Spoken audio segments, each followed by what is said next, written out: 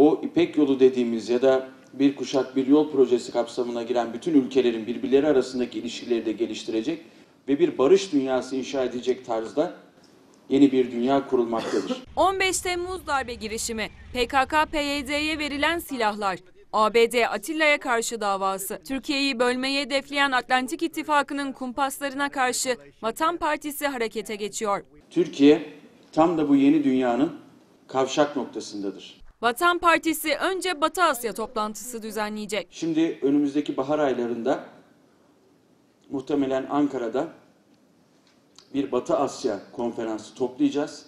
Batı Asya toplantısından sonra ise Ankara'da 4. Avrasya Konferansı'na ev sahipliği yapacak Vatan Partisi. Önümüzdeki sonbahar aylarında ise 4. Avrasya konferansımızı toplayarak yalnızca Avrasya'dan değil dünyanın geri kalan ülkelerinden de e, partileri, kurumları ve kişileri davet ederek dünyaya yeni dünyanın seçeneğini bir kez de Türkiye'den göstermiş olacağız. Açıklama Vatan Partisi Genel Sekreteri Utku Reyhan'dan geldi. Reyhan konuşmasını Vatan Partisi Ankara Olağanüstü İl Kurultayı'nda yaptı.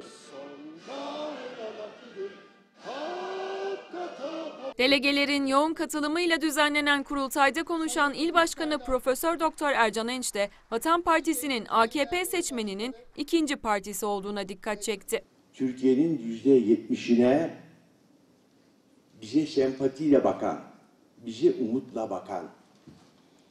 Arkadaşlar AKP seçmeninin ikinci partisi biziz. AKP'den memnun olmayan AKP seçmeni bize bakmaktadır. Gözleri bizdedir. MHP seçmeni bize bakmaktadır. Seçime Kamil Dede'nin başkanlığında ağırlıklı olarak gençlerden oluşan tek listeyle gidildi.